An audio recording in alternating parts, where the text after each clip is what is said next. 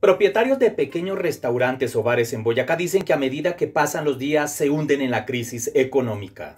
Líderes del sector explicaron que los alivios financieros representados en créditos de Bancoldex o en los subsidios a la nómina del famoso programa de apoyo al empleo formal del gobierno nacional en tiempos de pandemia por COVID-19 son una farsa. Lo que aquí estamos demostrando es que esos superalivios que anunciaron las entidades territoriales, alcaldías, gobernaciones y el gobierno nacional son una farsa son una farsa porque no le llega al microempresario. Para el caso de Tunja, el líder gremial dijo que de 279 establecimientos tipo bar, solo dos lograron un crédito en Bancoldex.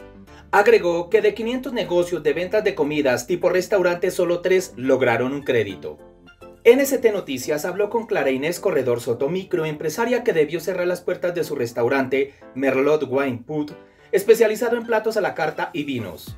Es un establecimiento que llevaba en el mercado cuatro años con este cinco años y está completamente cerrado porque quebramos. No podíamos sostenerlo con una nómina de cuatro o cinco empleados o trabajadores, un arriendo de 3 millones de pesos, servicios comerciales de 2 millones de pesos. Era imposible manejarlo con domicilios y, y pues nos tocó cerrarlo.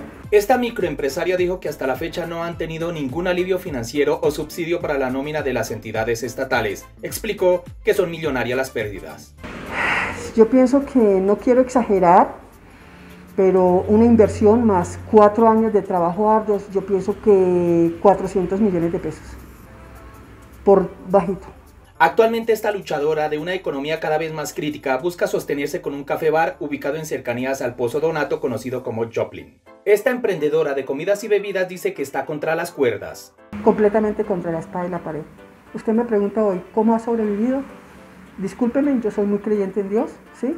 Gracias a Él y a nuestras familias que son las que se han endeudado porque nosotros no nos podemos endeudar con los bancos porque no tenemos cómo respaldar la deuda. Así como Claudia Corredor Soto, hay cientos de microempresarios boyacenses que esperan con urgencia el decreto salvavidas de las alcaldías para que les permitan la venta y consumo de licor así como de alimentos en sus establecimientos.